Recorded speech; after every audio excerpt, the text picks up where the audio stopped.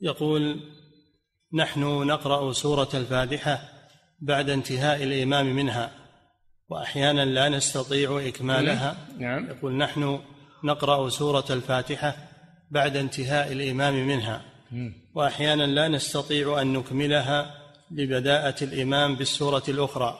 يقول فما الواجب علينا حينئذ؟ الواجب الاستماع. إذا كان الإمام يجهر الواجب أن تستمع. ويكفي هذا. نعم.